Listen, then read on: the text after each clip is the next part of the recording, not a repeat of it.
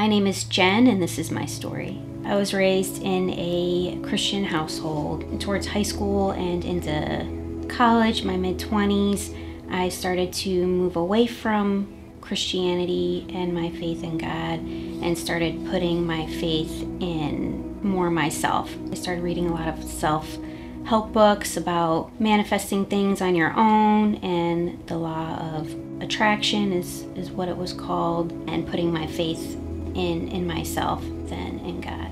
In January of 2020, I was diagnosed with stage 2 breast cancer. I was 35 years old at the time, so it wasn't really anything that I was expecting to have to deal with. In July of 2020, I went into remission. I shortly came across a self help book um, that I had read in my mid 20s, and I thought I should read it again. I immediately thought to myself, no, don't do that.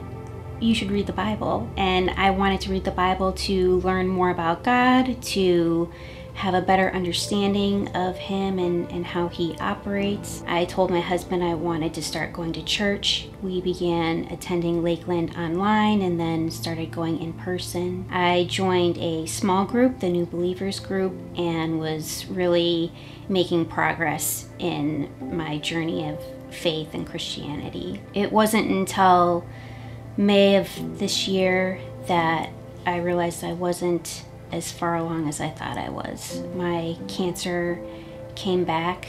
It, I was told it was stage four, and my thoughts immediately went to my small children and my husband.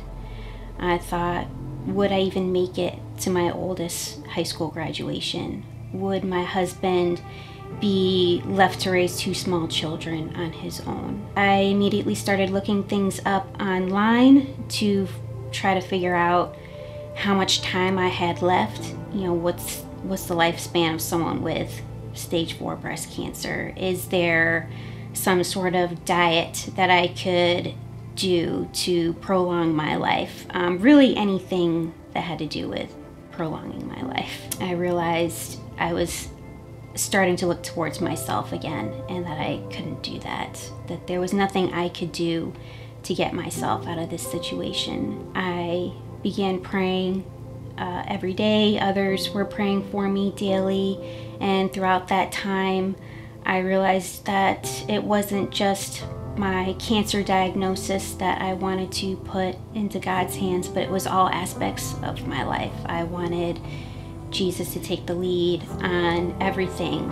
and live my life the way He wants me to live it. I'm so grateful for for the prayers and for God and for um, everyone who supported me.